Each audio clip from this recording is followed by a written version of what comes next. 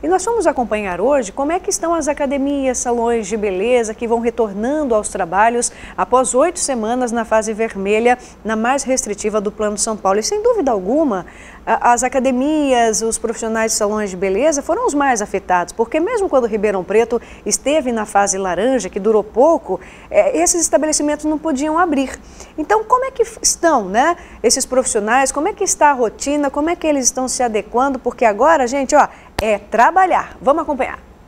Com a mudança de Ribeirão Preto para a fase amarela do Plano São Paulo, os salões de beleza e as academias finalmente puderam abrir as portas. Depois de mais de dois meses fechados, os proprietários desses estabelecimentos precisaram se preparar para voltarem a funcionar. Nessa academia, os proprietários colocaram tapete higiênico na entrada, sinalização de distanciamento no chão, aumentaram a ventilação e quem entra precisa medir a temperatura e usar máscara.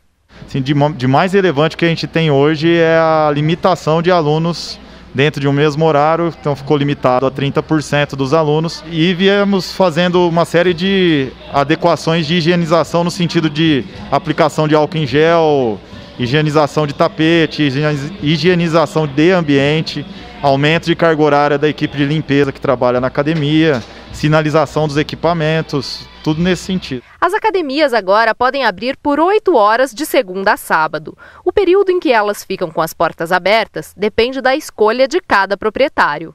Nessa aqui, o funcionamento vai das 6 até as 10 da manhã e depois das 5 da tarde até as 9 da noite. Esse horário precisa estar afixado na porta da academia. O, o prejuízo acaba não sendo só financeiro para nós e para os clientes, né? Muita gente fica insatisfeita tem a necessidade de voltar, tem a ansiedade de, de, de voltar à rotina como era antes, né? A, a, gente acredita e espera que isso dure o, o, mínimo de tempo possível. Então, a cada tempo a gente vai fazendo adequação, logo, logo a gente volta à normalidade com todas as aulas de ginástica, é, to, todo o horário funcionando, que a gente consiga ampliar e atender cada vez mais alunos, mais pessoas estimulando a prática de atividade física, que é saúde e é importante para todo mundo. Nessa nova fase, os salões de beleza também precisaram se readaptar. Agora, eles podem funcionar 8 horas por dia e receber 40% do número de clientes que cabem no salão. O Fernando é cabeleireiro e proprietário de um salão. Para retomar as atividades, ele distanciou as cadeiras do salão, distribuiu proteção em acrílico para as funcionárias e colocou o álcool em gel e um aviso que o uso de máscara é obrigatório logo na entrada.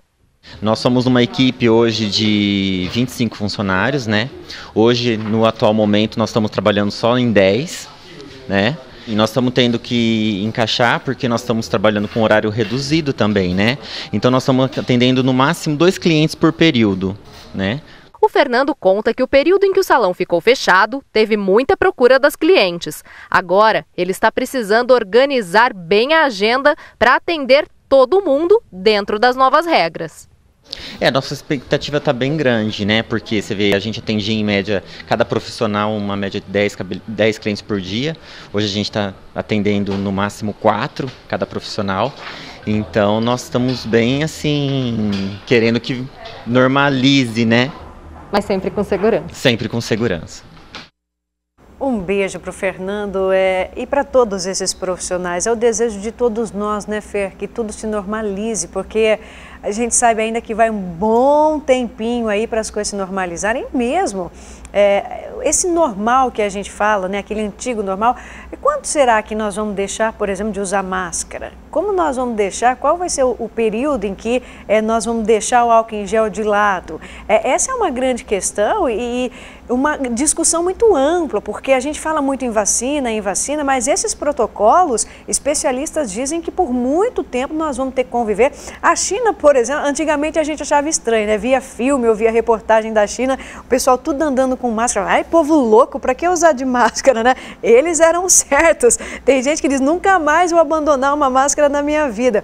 Enfim, gente, é isso daí, com segurança, com seriedade, com responsabilidade, tantos profissionais que estão se organizando pelas exigências é, para voltar a funcionar. Como nós, como clientes, como cidadãos, respeitando aí, porque nós falamos ontem o prefeito Duarte Nogueira, inclusive, deu uma coletiva falando muito sobre isso.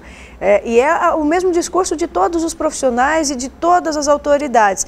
Se não respeitar, estamos na fase onde gostaríamos de estar nesse momento, que é amarela.